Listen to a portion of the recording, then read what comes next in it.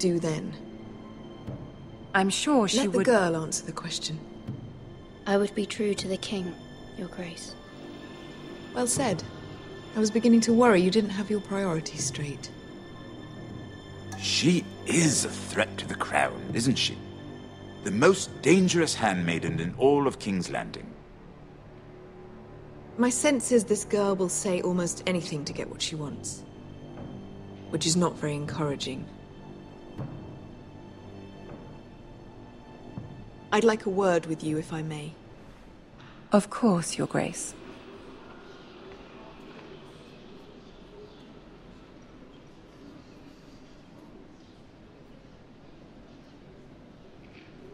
I'll walk you out. This may come as a surprise, but I met your father once, at the tourney at Lannisport. Even then he didn't trust Roose Bolton. We only spoke briefly, but your father struck me as an honorable man. You have my condolences for his loss. These would be trying times for your family, even under the best of circumstances. These are trying times, my lord. My family fears what might happen now that the Boltons rule the North. They must still answer to the crown. You shouldn't forget that, nor should they. That certainly took courage. To so publicly declare your loyalty to Joffrey for all to hear. Poor Lady Margaery was humiliated, although Cersei seemed quite pleased. It was quite the first impression. I, of course, found it all highly entertaining. I did it for Lady Margaery. Hmm, rather odd, if that's what she asked of you. But I'm sure she has your best interests at heart. My sister and I have our differences. She takes great pleasure in her little charades. I take mine in thwarting them. We must find our amusements where we can. She threatened to give your ironwood to another house. It is the Master of Coin who decides such matters. The Crown needs boats. Boats need wood, and I speak for the Crown in this regard. Not her. You can help my family. I suppose the Crown could be persuaded to secure Ironwood from House Forrester. Lady Margaery might not look favorably on such an alliance, and it would infuriate Cersei.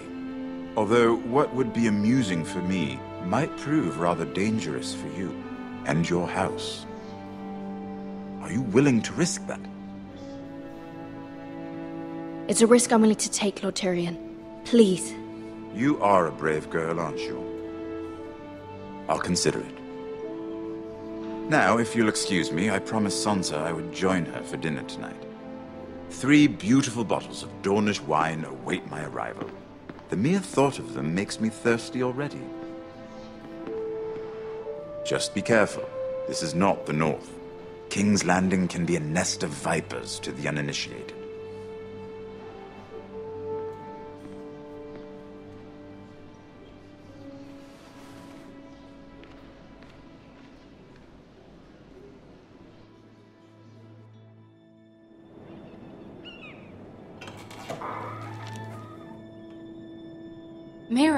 Was worried.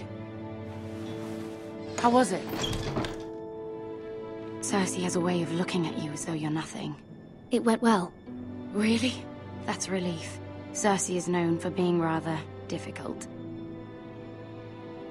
Lady Margaery has spent the entire day working on seating arrangements for the wedding. Of course, you and I are seated way at the back, here with the fourth cousins and the ninth-born sons. Sir Jaime. I wouldn't mind tarnishing that white cloak of his. Sera! what? It's true. And Oberyn Martell, the Red Viper. I'm told he has a paramour. Which I doubt is Dornish for wife. He is quite handsome. And quite passionate, from what I've heard. Perhaps Lady Margaery could make the right introductions. Who knows? We might meet our future husbands. Although, marrying a king, I can only imagine what that would be like. Would you marry Joffrey if it meant you'd become queen? He does have a certain look about him. And he's always treated Lady Margaery well. I'd marry anyone if it helped my family. Right. of course. Well, I would marry him. Imagine the power you would have as Queen of the Seven Kingdoms. I might even allow you to be my handmaiden. Let's see, who else should we marry off? Brienne of Tarth and Tyrion Lannister. what a perfect match!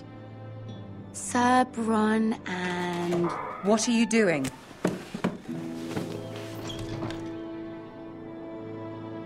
Well? Sera? I'm sorry, my lady. As am I. We shouldn't have been messing about. This is not a game. It's a battle plan.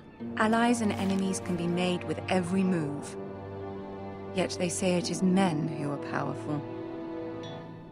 The Queen was pleased by your display, Mira. I'm just glad it's over. King's Landing can be exhausting sometimes. There's always someone to please or some perceived slight to smooth over.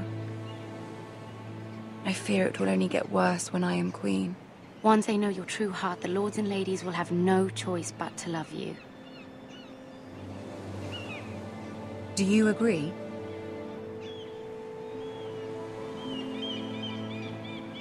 It doesn't matter what you feel.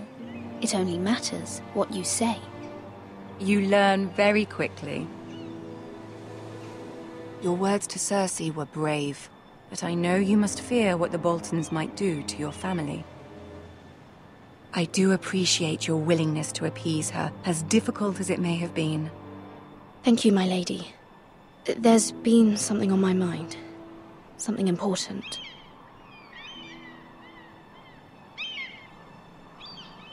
I... I did have a favor to ask of you in return. Whatever you wish to say, you can say it in front of Sera. There are no secrets between us. It's about my family. I trust her.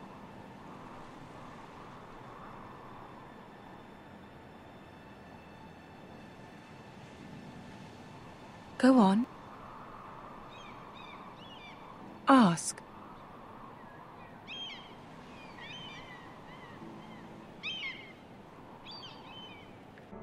Ramsay Snow.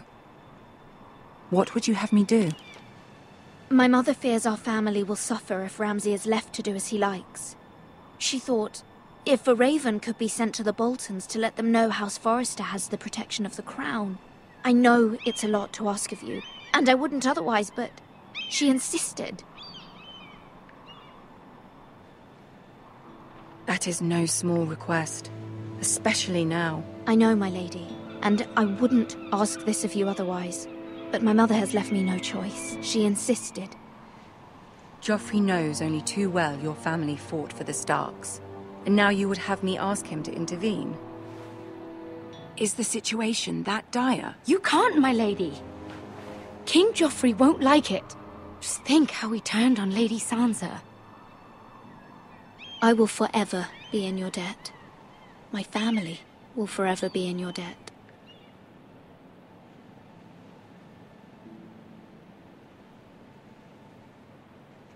Don't know, Mira. If Cersei were to find out... Don't let the Queen bully you. You have power over him, Lady Margaery, as no one else does. Not even his mother. Ramsay Snow will arrive at Ironrath within the week. I would never ask this of you if it weren't so urgent. Very well. I'll make your request, but I cannot promise anything. Thank you, my lady. I will send a raven to my family at once.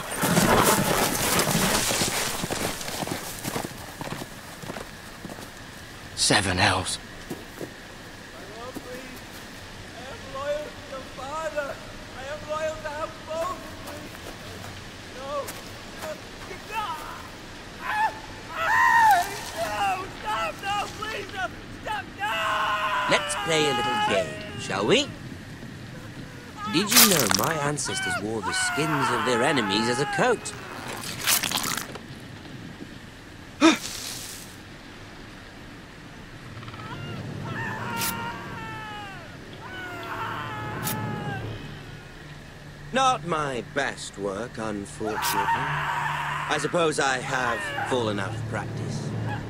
But he didn't make it easy, what with all that bloody noise. like a drowning cat. I thought he'd never stop.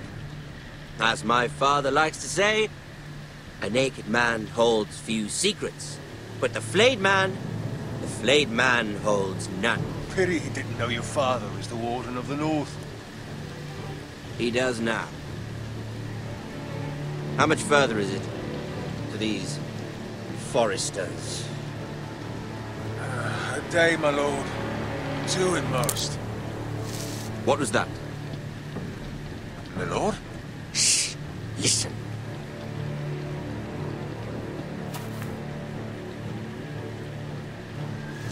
There.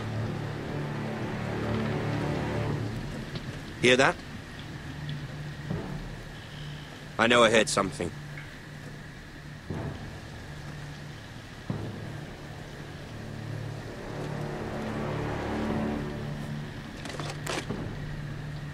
Never mind.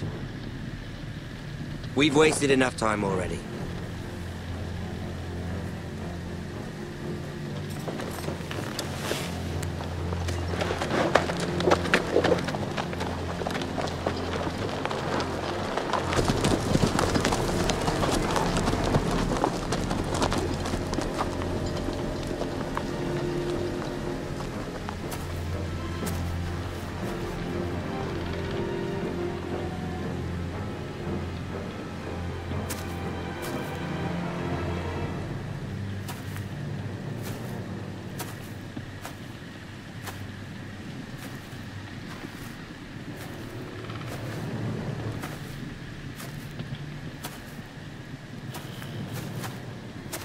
Bloody hell.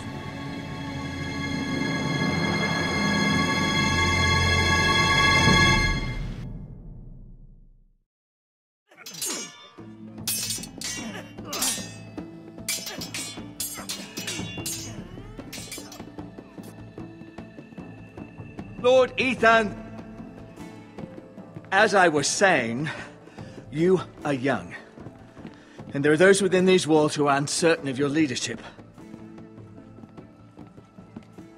But 300 generations of Forrester Lords stand behind you. Lord Gerhard the Tall, who founded our house, and your grandfather, Lord Thorin the Bold, who seized back the river valley from the White Hills. What did they call my father? Lord Gregor the Good. He was fair and wise, and courageous in battle. I want to be like that, like my father. Your father was well regarded by nearly everyone. It took years, if not decades, to earn. These were your father's people to lead and protect, and now they're yours. But your father did not bear this responsibility alone. He and every Forrester Lord before him chose one man whom they trusted above all others, the Lord Sentinel. Forrester traditions demand that a new Lord Sentinel must be chosen.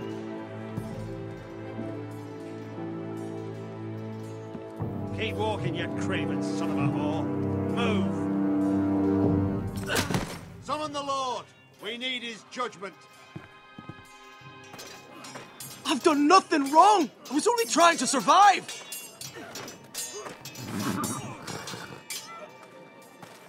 Lord Ethan. Maester. Who is this man? This craven is a deserter and a thief. This house is doomed! We all fucking know it! Quiet, thief. Eric was supposed to be guarding our weapons, but instead we caught him stealing them. Two shields and three spears. Is what Sir Royland said true? Yes, my lord. I fled. We should all flee. It's not stealing if you're taking what's yours by right. He speaks He's true. right. I've a family to feed, and not two coins to rub together since Lord Gregor left us to rot here. Where's our pay? Our share of bread and wine grows smaller every day. Ah. Leave the poor man alone. Mercy. Go. Lord Ethan, I know these words are hard, but they're honest. This house is falling. We'll never survive the coming winter. Calm yourself. The time for calm passed with the late Lord Forrester. Now there's only chaos. You'll address him as Lord. Lord Ethan, you must decide the punishment. Lord Gregor always took a thief's fingers. Three of them. Now may not be the time for harsh punishment. The men are on edge as it The men need to know they cannot do whatever the fuck they please. Their lord will not permit it. He's a thief. We can send him to the war. The man alone. Show him mercy, my lord. He stole from us. don't deserve to live. Make him pay for what he's done. Give us justice. Ah, fuck him. I will decide. Send him to the wall. Leave the poor man Take his alone. fingers. He's a thief. If you punish me, you'll be punishing an innocent man. It will be an injustice, my lord. Please, my lord. My family depends on me. I sentence you to the wall, where you will join the Night's Watch. No, please, my lord! My family, without me, they'll die!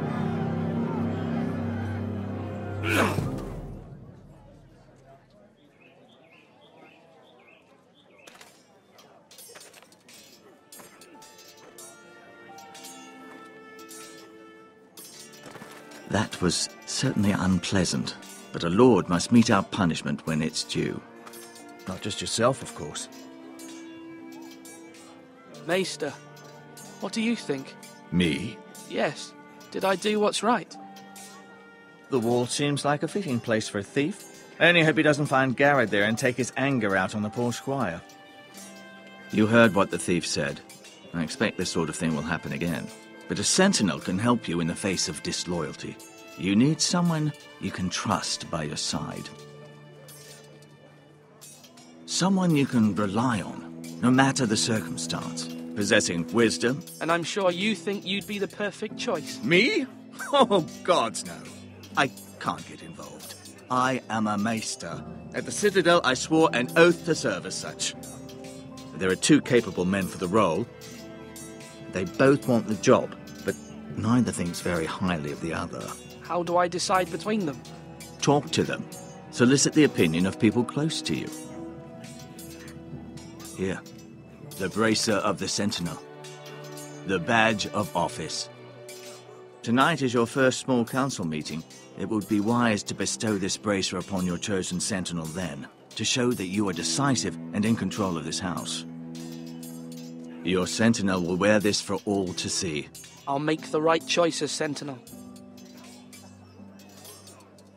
Come speak with me when you're ready to convene the small council, my lord.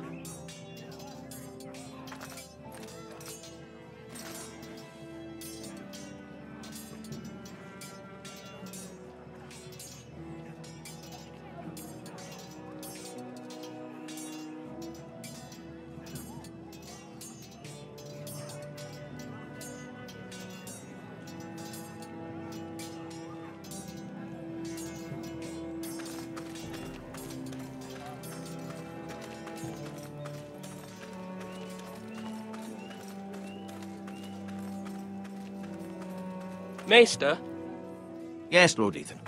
Are you prepared to name your sentinel? no, I'm not ready just yet. Let me know when you are, my lord. Are you holding a sword or a turkey leg?